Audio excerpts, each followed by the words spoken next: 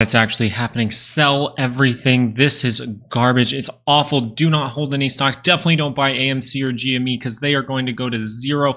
Everything's terrible. At least Nvidia's holding up, and I'm not too convinced at this point. Now, I can be convinced going into tomorrow, but I'm going to need some things to confirm. As of right now, we are not seeing confirmations of some signals, but it looks like we could have some stuff turn up tomorrow, and we do get GDP. We still have GDP, so do not freak out. And the funniest part about today is for days now, I have been saying how the insiders have been selling. And what do we see on this story right here for NVIDIA? We see uh-oh, this right here, insiders sold shares worth 21.5 million according to recent SEC filing. So all the people telling me coming into my live chat saying the insiders are not selling Nvidia, there you go. Now we're going to get into some technical analysis for the SPY Qs, Apple, Tesla, Amazon, Nvidia, AMD, and Meta going forward. And we're also going to look at AMC and GameStop. Okay, let's just get right into it and go with the SPY because we are seeing some signals that yes, it does look like the direction is down, but we have a lot of time left in the week, and that post market is below our weekly expected move. So the very first thing I wanted to point out here was something very subtle, but we have not even crossed over on this MACD yet, and I am seeing something very interesting over on XLU. Now this could change. This could change going into tomorrow. That's what I'm saying. All I'm saying is I need a little bit more price action to see which way this market is actually going to go.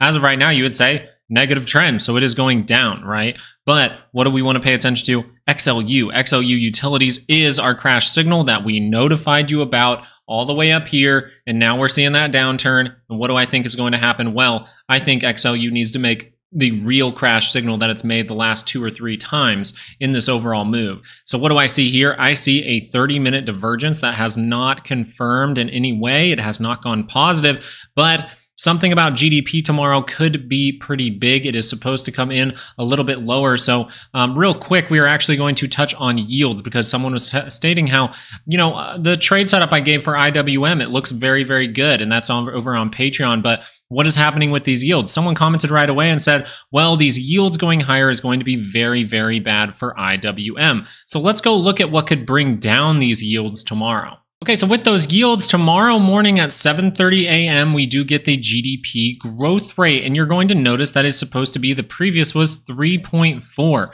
and it is supposed to come in lower. The funny thing about it coming in this low, if it does, it is still a positive number, which means growth, which means people can see it as still positive, but they also could see it as positive because if this number is coming down from the previous, that might cause the 10 year yield to start to drop further down. Maybe just reconnecting with the five day moving average. Now, I'm not saying that has to happen. We still want to pay attention to the exact reaction to that, right? We want to pay attention to the reaction of the number that comes out. Hell, we could end up with a higher GDP with how inflation is. So we're just paying attention to this because if the GDP does come in lower, that technically would mean that there is a deflationary thing happening, right? We're coming down. Growth is slowing, so these yields would not have to go higher. And this actually could pull back, and it could be seen as good news from the market. So, am I convinced that this market is going to tear down? I think it would be way too easy. I think it would be way, way too easy for this to just be, oh, we're going to crash because we cross over on this MACD tomorrow, right? On the daily scale for the SPY. So, I think it's going to be more complicated than that. So, let's get into this analysis for the SPY moving forward.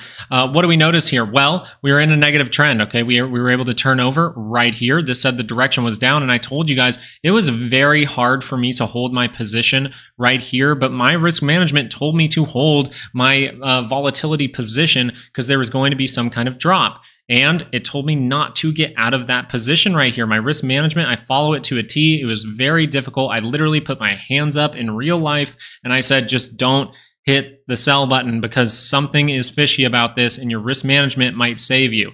And it did. The next day, I did see this gap down. I was able to make good money today, and I'm very, very happy about that. So the risk management portion of the course coming in handy for myself there. Course is $100 right now. So what are we noticing? We go down into negative territory. Okay, we are in negative territory, so we are seeing negativity. Now we move sideways, and you have to say for the SPY, very interesting that we just drop and we do nothing all day. And I think this is a problem with market makers and their liquidity right now, uh, maybe due to the AMC and GME problem because they're having to short that thing into the ground. They are trying their best to do it.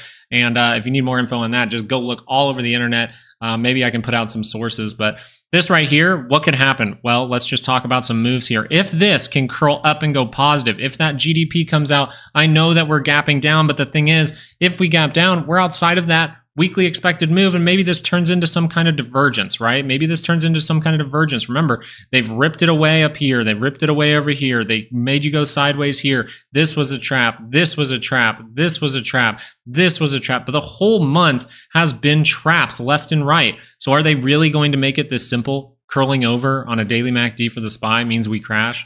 I don't think so. I think it'll be more complicated than that, but I'll pay attention to tomorrow once I see some more price action. Right now, we need some levels to pay attention to for tomorrow.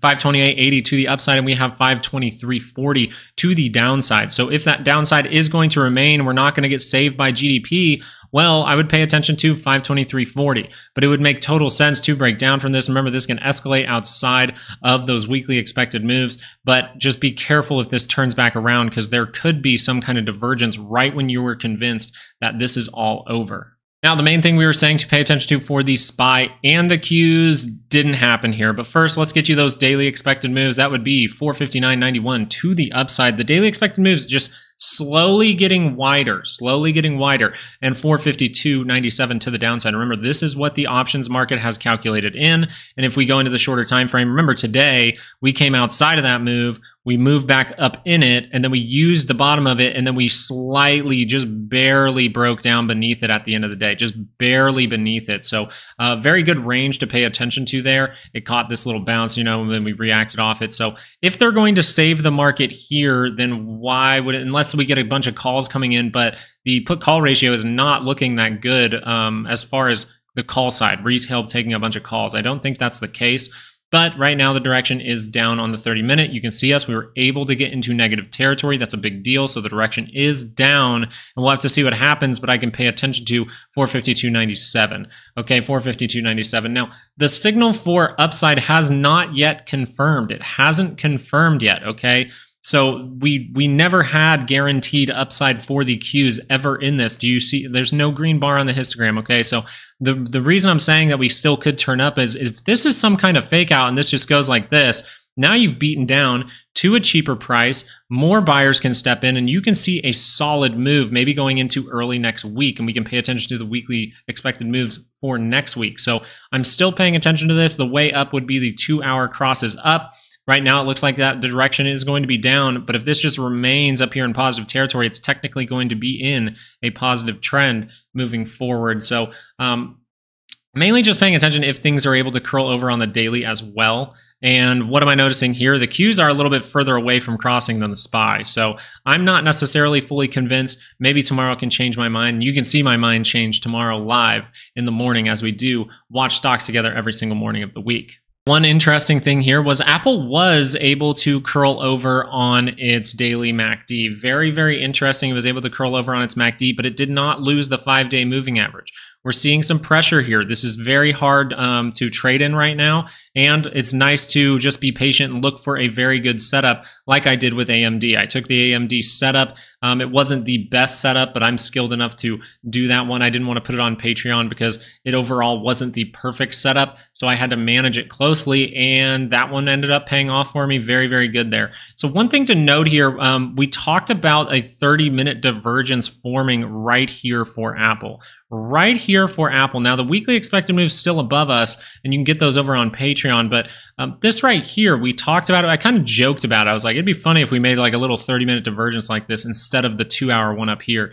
And what do we notice? We actually did make that divergence, like we did. So very interesting that Apple's making this slight downward move on the MACD, slight downward move on the RSI at the same time. So if this starts to go negative, then that's going to roll over that two hour. That two hour is not going to be able to cross. It rolled up and rolled right back down. So that already has rolled it down. So the direction for the two hour right now still in positive territory, but if that goes negative, yeah, we can see a pretty significant drop here. So we'll pay attention to this live, but uh, was this the best trade setup? I mean, if you really paid attention to this, it was good. But going into a big event like GDP, I'd be very careful. Tesla's one that, as of right now, you would say is in a 30 minute positive trend. Now, one thing I did notice on Tesla, I did look into this because someone was saying four hour divergence down here. This is very important, right? Left, head, right shoulder. If we break below, um, I would say 173.29. If we can close below that, you might get something like this to go on and you will continue that negative trend if the 30 minute MACD is able to roll over.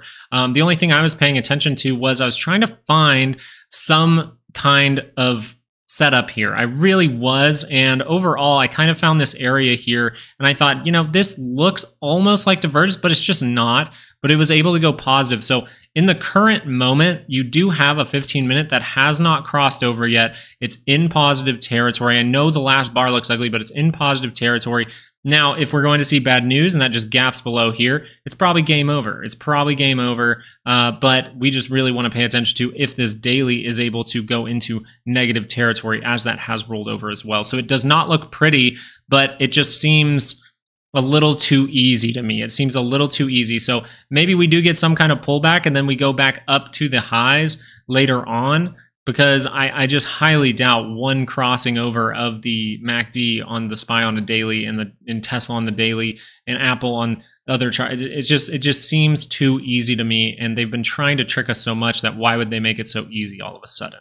Amazon, this was a great setup. You had a pretty dang good setup here that could roll up the daily, but it didn't do so yet. So you're still in positive territory. So still a positive trend on the daily scale. What do we notice here on the two hour? Well, you did have some like subtle divergence on the RSI, not necessarily showing up on the MACD at the same time. So we shouldn't expect that daily to really roll up. But the 30 minute was the play here. And what are we noticing? 30 minutes starting to roll over. So 30 minute, you see this good bounce what do we do? We see a triple divergence, maybe even quadruple divergence down here. Get into that move, and boom, you see a nice bounce here from 180, 150 all the way back up to uh, about 184. Solid bounce, but now we're starting to curl down. So we have to see is this going to roll over and go negative? As of right now, it looks like a lot of stocks are dropping. But what if that GDP shakes things up? That's all I'm worried about at this point. I think that something fishy is going on here. We've seen trap after trap after trap why would they make a move outside of the weekly expected move on Thursday morning when we have a little bit more time to come back into that range? It just seems a little fishy to me, but I could be proven wrong. And I look forward to watching those stocks in the morning with you guys to see uh, if I'm just completely wrong on this. And that's perfectly fine with me. I know that there is downside potential because of XLU. I still have a volatility play in the books there. It just hasn't, I don't have four positions. I only have two. I sold two of those today. So we'll find out what's going to happen with this. But right now, 30 minute pointing down and the two hour not necessarily looking too strong as well for Amazon. Remember, this is far away from that center line. So we overall said a lower high is very likely here. And maybe this one right here is just going to continue that negative trend right now. We'll look for any signals in the future for Amazon. NVIDIA, we had people come in and talk about NVIDIA and say, what do you mean the insiders are selling? The insiders are not selling. Click this button right here and they just posted an insider is selling. We're seeing this drop off. And I think that's a big thing going on right now. Uh, what do I notice here though? 30 minute is beating down to that center line. It hasn't gone negative yet. We haven't even gone, we haven't even gotten downward price action really. We got this fake out right here, which actually reacted off the top of the weekly expected move. Remember, we broke through that weekly expected move. Now we tested the top of it. Now we move a little bit higher. But as long as retail keeps trying to short this, it gives them more fuel to just make a push up and make money and make money and make money. They're just stealing from the shorters here, and that's perfectly fine. I mean, that's just how the market is manipulated at this point. Everything that's being implemented with T1 is going to make that a little bit harder, with the CAT system going to make that a little bit harder. But until we see what actually happens with all that, um, they could probably just keep doing what they're doing. It seems like they're just doing what they've always done. So we're paying attention to the 30 minute. Can that get close to the center line and curl up one more time?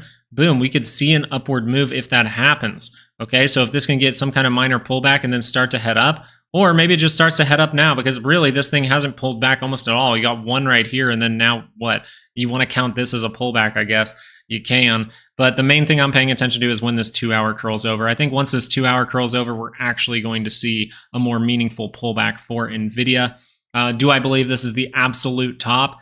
I would be more convinced if the two hour beat down to that center line and we pop back up and then we got some kind of double top. I'd be very convinced if something like this set up, but as of right now, it seems too easy for everything. Now, Now, AMD, this is that trade that I did end up taking. Now, I told you I was going to take a real, you know, position size that I would take if we made some kind of setup up here that we talk about like on the course. So I was going to do this with you guys. I ended up getting into this position late uh, yesterday, right around this area to the short side. And that was just because we have two hour divergence up here. This is what I was looking for the whole time. Now that has confirmed, but I'm still not going to get back in this move. I'm still not fully convinced this is over. I think that the 30 minute does still have the opportunity. Look how close it is to the center line. So by managing this trade, I pretty much just said, hey, I'm taking money quickly. They're trapping people a lot. So I didn't want that to just buy right back up and then take the position later. As of right now, that crossed down. I held it for a few, for like 30 to 30 minutes to an hour this morning. Boom, it goes down. I think I sold around 166. Now we're seeing a bounce up. Okay, so the 30 minute, if this thing curls up, it's right next to positive territory. We're off to the races again, and maybe I can take this trade with this signal. But as of right now, we're starting to curl down. So I really wanted to dig into AMD for you, show you a five minute. Actually, I wanted to show you a 15 minute, my bad.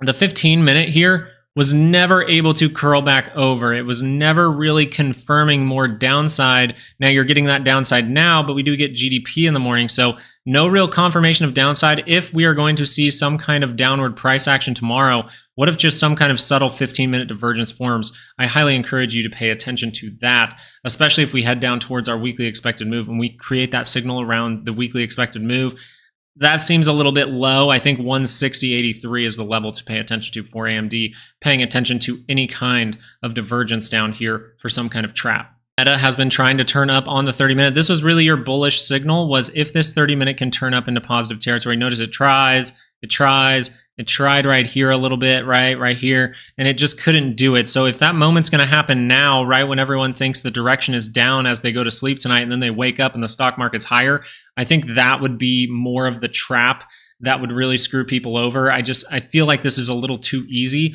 I'm fine with it being easy because I have volatility play still in there. I have two positions on volatility, so I'm perfectly fine with a downward price action, but I'm just not fully convinced, okay? So if this 30 minute curls up, that would mean positive trend, positive move. Now the 2 hour here, it's not curled down and that's why I'm talking about some of the signals have not confirmed and we need more price action. Yes, we have a head and shoulders. Yes, we have the left, we have the head, we have the right shoulder, and we have a divergence across the way here, right? We have a divergence here and here. So you do have that multiple point divergence, but I, am still not fully convinced why this hasn't crossed over on that MACD. So I, I, know a lot of people would front run this and then it would cross and then that would go back up, but they didn't even cross it at the end of the day. So my signals would tell me be patient here. And even though you know the market's closed right now, I'm sticking to my strategy and being patient, not trying to go overzealous on some short positions right now. Okay, now we get to talk about AMC and GME. Okay. So the thing about AMC here is this is this is bad. This is in a negative trend on all the shorter time frames. I'm, I'm going to point that out in a moment. But one key thing here is you're still in a positive trend. And weirdly enough, we didn't cross over just yet. Now, this could cross over tomorrow. We could get more downside price action and then see that thing pop back up eventually. But in order to pop back up, well, you got to remain in positive territory. You got to remain up here.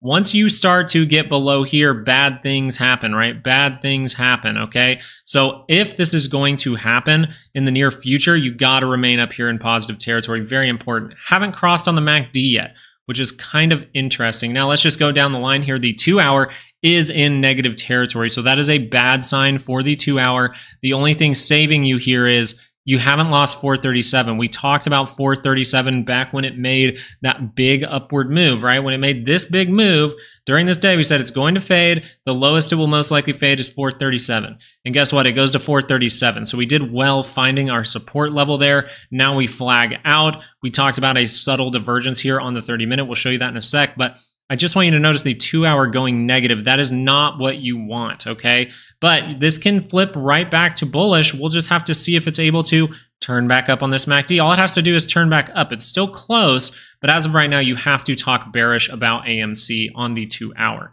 On the daily, you can still say positive trend, but on the two hour, you just, you can't say that. Okay, so we're going to go into the 30 minute and show you that divergence up here. And what do we notice? Just kind of flatness of the RSI, slightly down on the MACD over here. So now, usually when I see a signal like this and not necessarily that good on the RSI at the same time, it's a pullback.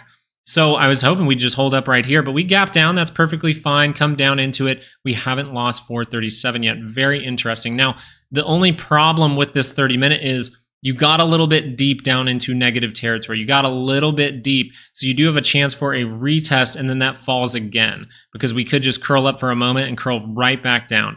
So it's just not looking the best for AMC right now, but maybe it's once AMC is looking the worst and once people don't believe in it, the people who hold will uh, benefit the most. So we'll pay attention. I do know that the short sellers are really hurting right now with how much AMC is being pushed down because most people are willing to hold this stock and the fact that it's going down dramatically i highly doubt they out of nowhere just decided to uh, sell today. I bet that is some short selling pressure GameStop, let's do it the same way. Now, GameStop was able to already curl over on its daily MACD. That is one thing, but uh, that means the direction is down for now, but you're in positive territory. So if this curls up, you will see some green, but it's not curling up right now, okay? The daily is in positive territory. And then the other problem here is and this really isn't the problem. This is kind of the only good thing you can find. And then on the two hour, you have this right here, it's still in negative territory. So both GME and AMC on the two hour are in negative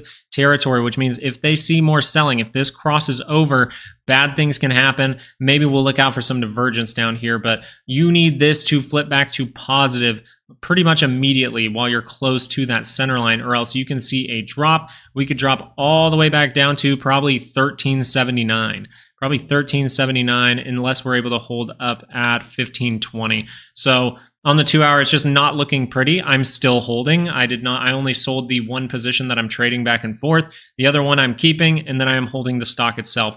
Now, the key thing that is different for GameStop is this right here.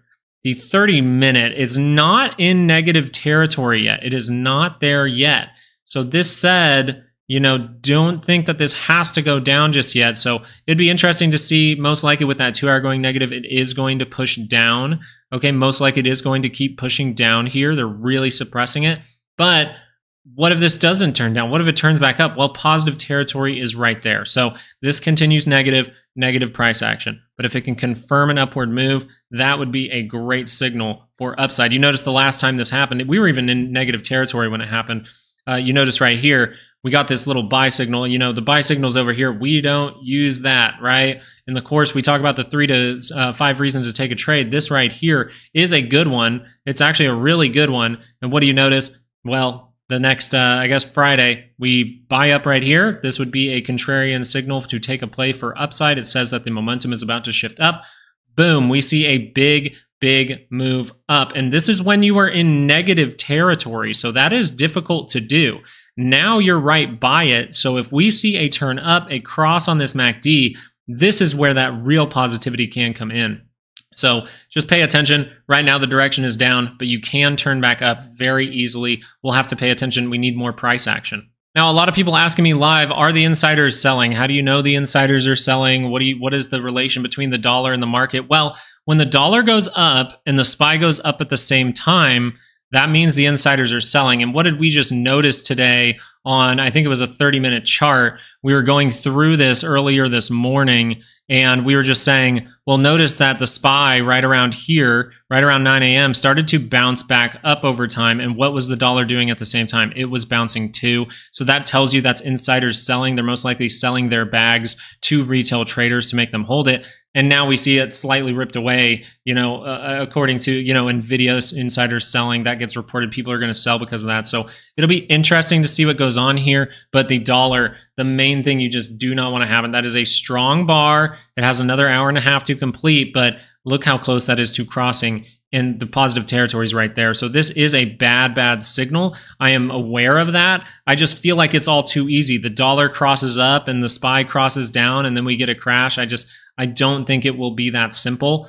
Um, so maybe we do actually see some kind of back off that gets people trapped to the upside and then that's ripped away. That would make more sense to me if I was trying to trick people. But this seems all too easy. If it is this easy, then great. My volatility play will print and I will be very happy. Speaking of volatility, it's printing. Look at that. So the key thing here, though, on the daily scale is yes, you've crossed up on the MACD. Awesome. but you're not in positive territory yet. And the main thing is you have to close and be able to hold price or hold the value, right? Hold the reading above the 200 and the 50. That is a key thing. And then the 50 has to cross the 200 to see some kind of crash signal. It has to remain up there, okay? You notice over here, we tried to cross and then we came back down. And once this bar printed, we said there's going to be a short squeeze, and there's a short squeeze. Okay, so boom, we curl up. Now, the reason I am paying attention to this a little bit is just because on this short time frame, I know it's a 15 minute, maybe I'll look at a 30. On the 30 minute, this could rotate up. We could see volatility as we wake up this morning because this actually opens up at 3 a.m. or around 3 a.m. So, what if we see that volatility come in? The stock market's at lower prices and it forms some kind of divergence before the open and GDP actually has a positive reaction. This is possible. And that's why I'm saying I think this is just way too easy. The volatility curls up on a daily, the dollar is going to curl up on a daily, and the SPY is going to curl down, and we're going to see a dramatic sell off. I, I just think it's too easy. And I hope it is this easy going forward because that would be nice. And I will not have to uh, manage those trades as, as closely. But right now, I'm feeling like I really need to manage these trades. And a lot of things have not confirmed more downside just yet. So the main takeaway here is this right here. I think it's XLU. It is utilities. Remember, this was the crash signal. We were looking for that pullback. Now we're seeing a little bit more uh, trappy behavior, a lot harder market to trade in as this signal started. So what do I think goes forward? Well, I need to see more price action. And that's the main takeaway here. If the SPY is really going to sell off dramatically, then why did utilities see this bounce towards the end of the day? And, and is it going to cross on this MACD and go positive? I just need to see a little bit more price action, and then I can finally figure out which direction this market is going. And thank you guys so much for watching. I really do appreciate it. Good luck with your trading tomorrow. Make sure to tune in live. And if you would like to learn about these things, grab that course. It's only $100 until uh, Friday. Okay, so Friday. I think I keep getting my days mixed up and saying like two days left or something, and, and there's actually three. But Friday, it's going to go up from $100. So grab that if you want to learn. Thank you guys. Good luck on your trades. Peace out.